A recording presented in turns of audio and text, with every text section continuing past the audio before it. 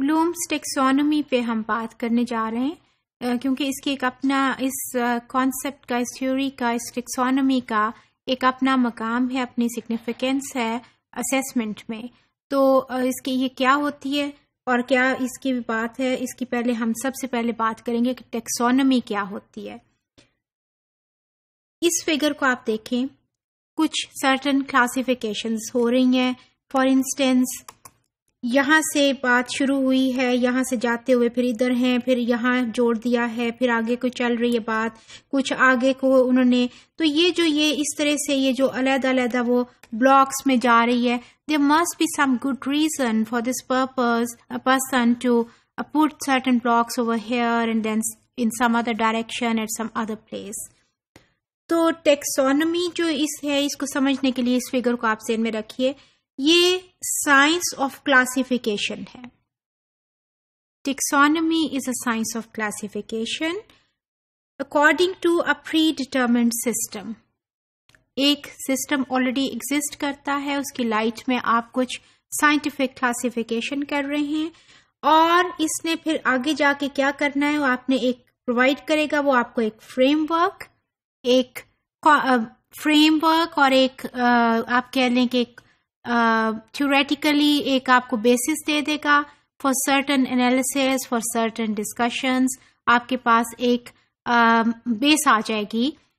Scientific classification आप कर रहे हैं और किसके किस तरह कर रहे हैं? किसी सिस्टम की ऑलरेडी डिटर्मेंट की प्री डिटर्मेंट सिस्टम की लाइट में और वो आपको क्या देगा? एक आ, वो दे देगा एक थ्योरेटिकल सा फ्रेमवर्क जो कि फर्दर आगे एनालिसिस और फर्दर डिस्कशन हो सकेगी।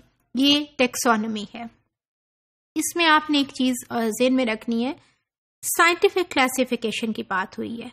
या उसने कहा है कि साइंस ऑफ़ क्लासिफिकेशन साइंस का वर्ड आया है। अब साइंस के, के लिए हम अक्सर ये कहते हैं ना इसको जरा आप जेन में रखिए कि साइंस तो जी लॉजिक मांगती है। साइंस के लिए हमें रीजन देना पड़ती है। सो so, इस चीज़ को आप जेन में रखिए। कि ये जो क्लासिफिकेशन हम कर रहे हैं क्लासिफिकेशन क्या होती है? कुछ चीज़ों को हमने यहाँ रखा, कुछ को हमने यहाँ रखा, इसकी बेस पे फिर यहाँ रखा, ये क्लासिफिकेशन है। ये साइंटिफिक मैनर में हो रही है, यानी एक रीजन है हमारे पास, एक जस्टिफिकेशन है कि ये ये जो आइटम्स हमने यहाँ प्लेस किए हैं वाई टू प्लेस है और ये जो यहाँ प्लेस कर रहे हैं वाई टू प्लेस है तो इस उसके पीछे एक बड़ा साउंड कोई रीजन होगी, एक साउंड जस्टिफिकेशन होगी इस क्लासिफिकेशन के लिए। और फिर ये क्लासिफिकेशन हमें क्या देगी? एक हमें फ्रेमवर्क दे देगी, जिसके ऊपर कि हम फर्दर अपने एनालिसिस फर्दर डिस्कशंस या फर्दर रिसर्चेस उसके बेस पे हम कर सकें। ये टेक्सोनॉमी होती है।